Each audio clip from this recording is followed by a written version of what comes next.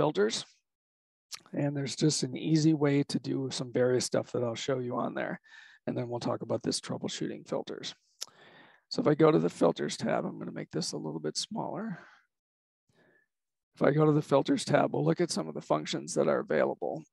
I can actually filter to only see traffic from intranet or internet, or I can say I only want to see stuff from a certain host. So I could go type in here, you know, I only want to see bing.com or whatever.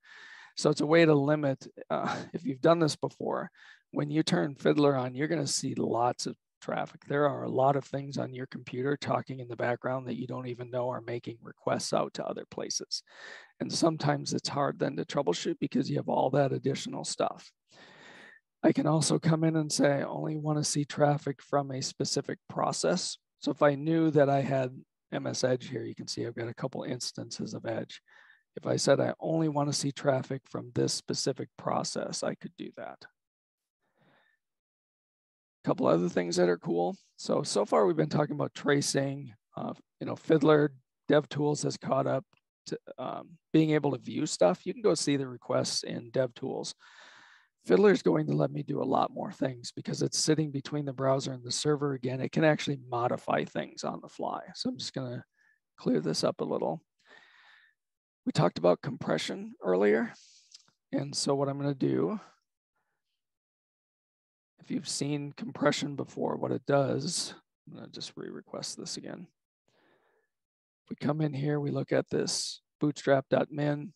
So by default, when it makes a request, the browser will tell the server that it understands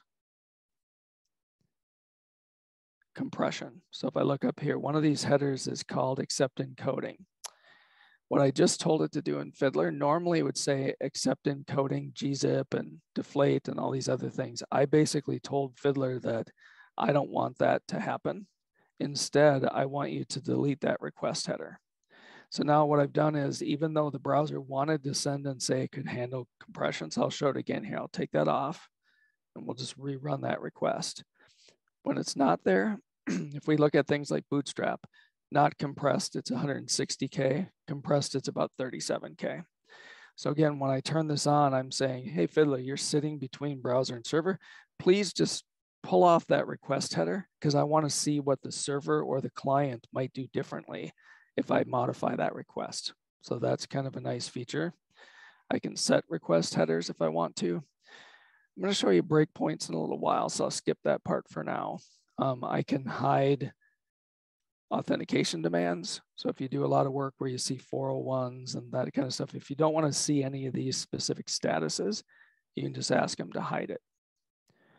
You can also do a time heat map.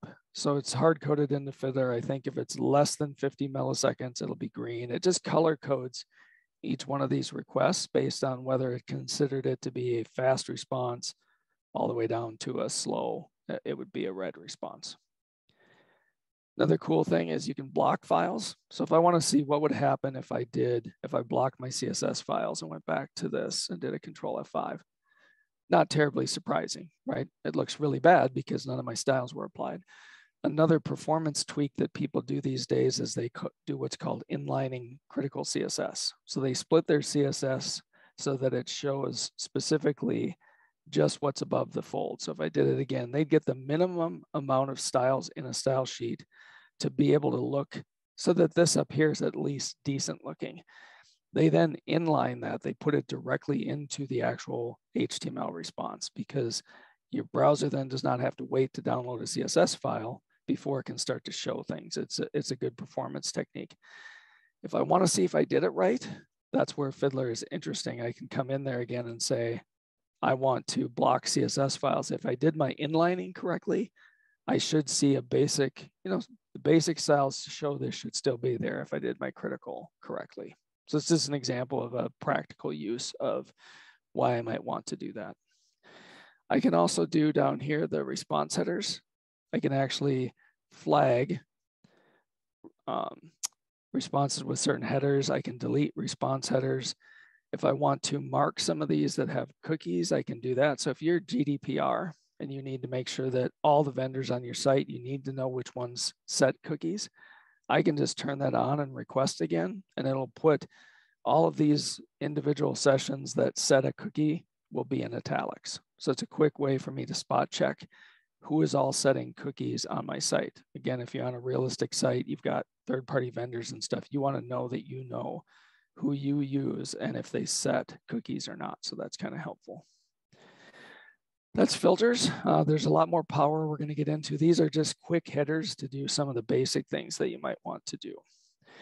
The last thing noted on here, um, Eric used to get calls quite a bit where people would say, I was tracing traffic and now I don't see any traffic anymore. And the problem was because they were filtering things out and they forgot they were filtering. So he added this troubleshoot. What it will do is it'll show everything that was hidden, but have a strike through for it. So he said that really cut down the calls of people talking to him because they realize that it's their filters they set up that are not allowing them to see some stuff. So that's what that is there for.